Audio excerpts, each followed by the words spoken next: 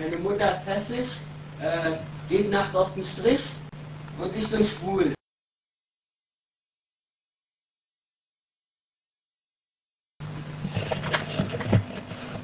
So? Meine Mutter ist hässlich, geht nachts auf den Strich und ich bin schwul.